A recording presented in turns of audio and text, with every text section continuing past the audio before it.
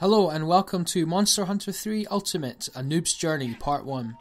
I'm VG247's Dave Cook and I'm playing this game on the Wii U. Like, you'll see a lot of reviews coming out for this game this week, but I thought I'd do something a little bit different because I've not actually played the old Monster Hunter games, so I don't really have a frame of reference for you know, comparing this game to like the older games in the series. So I thought I'd come at it with fresh eyes and just chart my journey from the, sort of humble beginnings all the way through to battling bigger monsters with like really cool gear and such. As you can see, it's a JRPG and a very colourful one at that.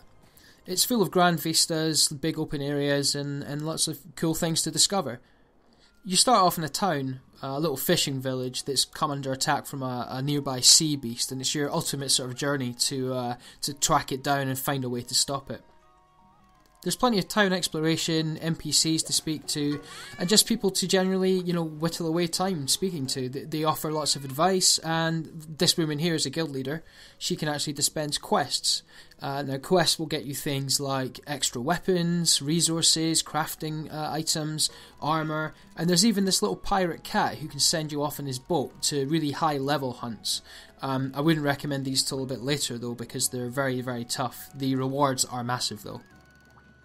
You also have a house with a treasure chest that can be used to store all of your unwanted goods, and it even comes with a cat butler who can dispense extra gameplay advice and a bed that you can use to save. Like all good JRPGs, the towns are full of shops. Here you can spend your currency on things like weapons, extra resource craft items, and more. There's even a blacksmith where you can make weapons, but you really have to be aware of how the weight of each weapon affects your character. Just like in Dark Souls, stamina plays a big part in combat, so you don't want a weapon that's too heavy, or else you won't be able to swing it very fast, and it'll drain your stamina like crazy. However, the damage payoff of heavy weapons can sometimes make them worth it. You can see here this big sword. I'm using it to cut down these dinosaurs with one hit each. However, the slow speed of attack leaves me open to counterattacks from enemies, so I'm just lucky that these herbivores aren't that aggressive. Once you defeat enemies, you can then loot their corpses for things like bones, raw meat, and other resources used for crafting.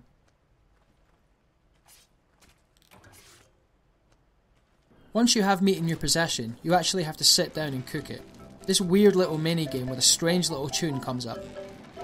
Cook it for too long and it burns. Don't cook it for long enough and it stays raw. It took me a while to get the sweet spot right. I had to actually waste a lot of meat to make this work.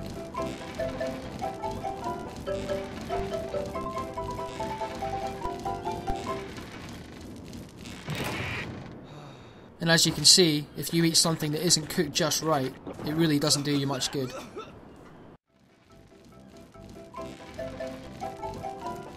All you can keep doing is trying, trying, trying, trying, and trying again. Until you get it right. When you're not making a mockery out of meat, you can forage around the starting area's many forests and coves in search of mushrooms, herbs, and other items that can be used to make potions.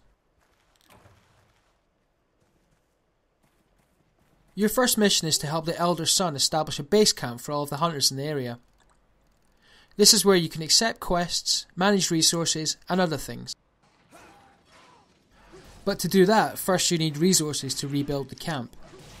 You do this by fighting all of these weird raptor like dinosaurs in this cave.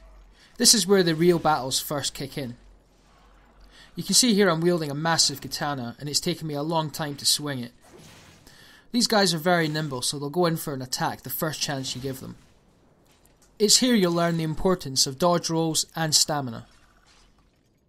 But as with every battle in Monster Hunter, every defeated enemy gives you resources that take you one step further in your character's progression.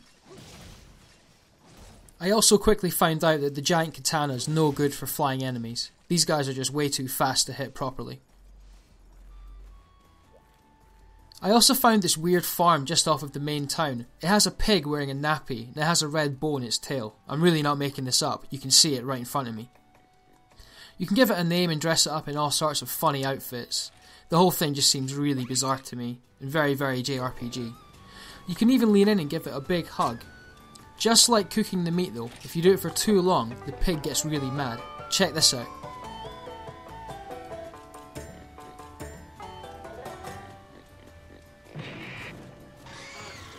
Sorry, sorry, sorry, sorry, sorry.